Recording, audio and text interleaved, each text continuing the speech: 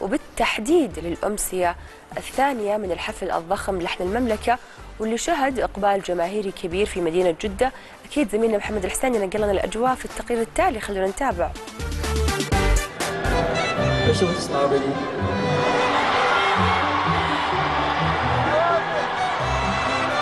تتنفسك دنياي؟ الفنان عبد المجيد نرحب فيك معنا بالروتانا الخليجية. بدعت اليوم كسرت الدنيا؟ كيف تشوف هذه الليلة؟ كيف كانت أجواءها عندك؟ هي دائما يعني الحفلات ال- ال- ال- ال- اللي تقام في جدة برعاية وزارة الثقافة وبتنظيم روتانا. حطها بين قوسين. تنظيم روتانا آه، أعطى نوع من ال- المصداقية حتى للمتلقي. يعني الجمهور كان عنده عنده الثقة أنها تطلع أغاني آه، حفلات حلوة. ابتداء من من فنان العرب وكانت حفلته مكسر الدنيا لدرجة أنه ممكن كان يعني آه، كان يعني آه، نتمنى ان إحنا نوصل لهالمستوى. آه، ويبقى فنان العرب أنا عن نفسي قدمت اللي أقدر أسويه وأسعد جمهوري.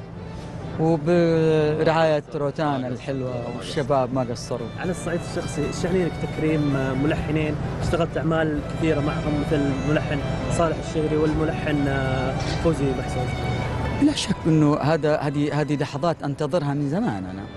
يعني إني أنا أكرم شخص أنا أحبه. تخيل؟ وكنت أتمنى أكرمهم هم أحياء.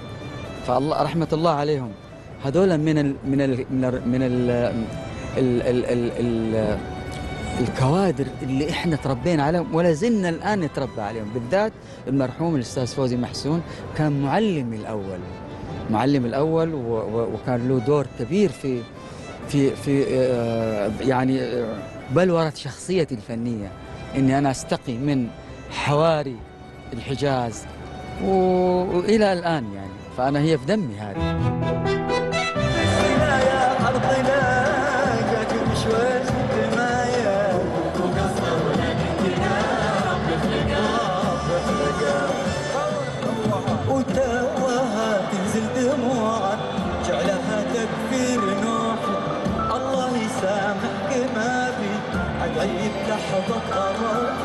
صرت معك بخيالي انت فارقنا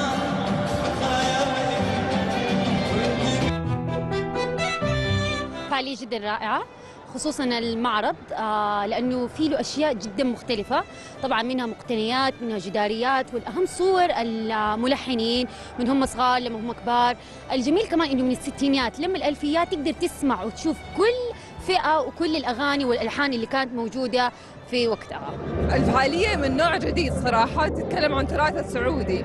يعني أمس كانت حفلة محمد عبده حضرتها على التلفزيون. يعني من أحلى الحفلات يعني. اليوم عبد المجيد عبد المجيد جدة. يعني أنا أول مرة أحضر لعبد المجيد صراحة محظوظة. كان يعني شيء من التراث. يعني فوزي محسون وصالح الشهري غير كذا إنه حب ينوع لنا يعني.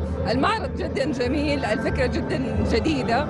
يعني شيء مرة حلو يعني فخورة إني أنا بشوف شيء زي كذا ببلدنا والله انبسطنا. وأحلى حاجة إنه جمعوا لنا بين الماضي والحاضر بالفنانين القدامى والملحنين القديمين وجمعوا لنا يعني بين ال- الفن القديم والفن الجديد. فعالية ممتازة جدا رائعة وأبدعوا خاصة الملحنين الكبيرين الله يرحمهم صالح الشهراني الأستاذ صالح الشهراني الأستاذ الكبير فوزي محسون. ما شاء الله شيء ممتاز. وش روماني بسبيله